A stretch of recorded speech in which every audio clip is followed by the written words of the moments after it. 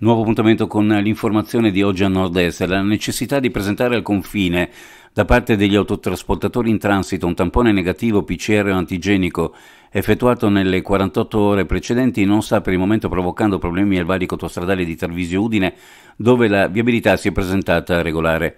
Lo si è appreso dal Centro di Cooperazione Internazionale di Polizia di Tormagern. Per il movimento non si registra nemmeno un aumento del flusso di mezzi pesanti deviati in Friuli Venezia Giulia, dopo che al Brennero si sono formate code per oltre 40 km.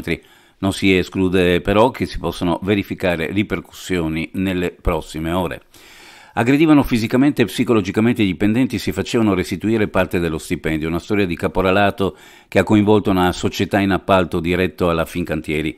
I carabinieri della compagnia di Monfalcone, in collaborazione con i colleghi del nucleo ispettorato del lavoro di Gorizia, alle prime luci dell'alba hanno dato esecuzione a tre ordinanze di custodia cautelare in carcere, emesse dal giudice per le indagini preliminari del Tribunale di Gorizia, dottor Carlo Isidoro Colombo, nei confronti di altrettanti soggetti ritenuti responsabili dei reati di intermediazione illecita e sfruttamento del lavoro, estorsione e somministrazione fraudolenta di manodopera commessi a Monfalcone nel comune di Falconara Marittima a partire dal 2018.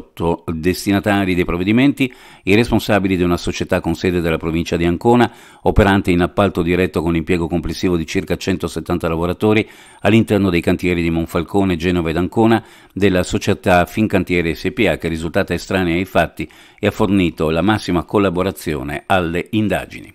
Un'auto travolge un pedone in via Callisto Cosulice a Monfalcone, è successo questo pomeriggio. L'ambulanza è intervenuta per il pedone che ha subito un trauma cranico ed è stato portato in pronto soccorso in codice giallo. È intervenuto anche un secondo mezzo di soccorso per il conducente dell'auto che ha rifiutato il trasporto. Intervenuti sul posto i carabinieri di Monfalcone.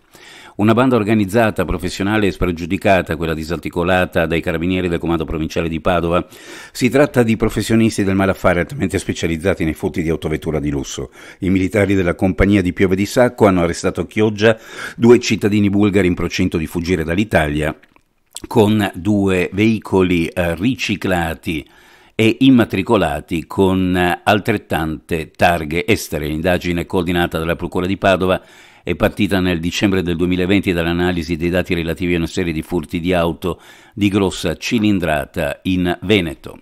Nell'ambito di un'attività investigativa condotta dalla squadra mobile della questura di Pordenone, coordinata dalla procura del capoluogo, originata alcuni mesi fa e sviluppando gli elementi di indagine sopraggiunti, il pubblico ministero titolare del procedimento penale ha disposto la perquisizione personale domiciliare a carico di tre persone residenti in provincia.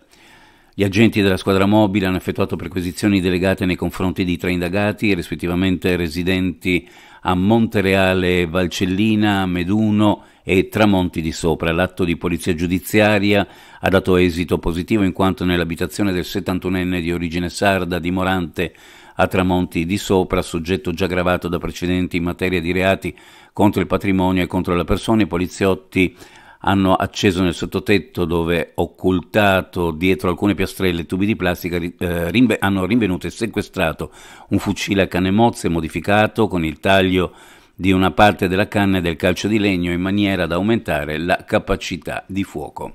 Un incendio di probabile matrice dolosa è divampato all'esterno di una palazzina disabilitata di tre piani in piazza Martiri di Belfiore, un tempo sede da molto tempo dismessa di eh, poste nel quartiere di Santa Maria della Rovere a eh, Treviso accanto all'ufficio postale attivo. L'allarme è scattato poco prima delle 12.15 di oggi ad andare in fiamme vari rifiuti, tra cui sedie, panche, mobili da ufficio e vario materiale plastico, oltre ad altri eh, rifiuti che da tempo erano accatestati sotto il porticato.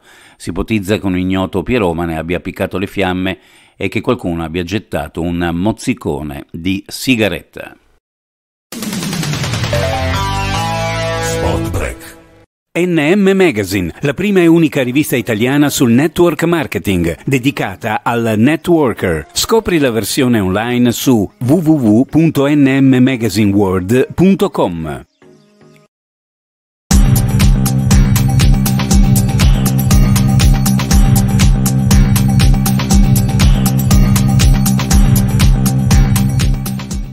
Domani sul Friuli Venezia Giulia cielo in prevalenza poco nuvoloso L'atmosfera inizierà a essere un po' più umida sulla bassa pianura e sulla costa con possibili locali foschie in giornata zero termico fino a 2000 metri circa con inversione nei bassi strati.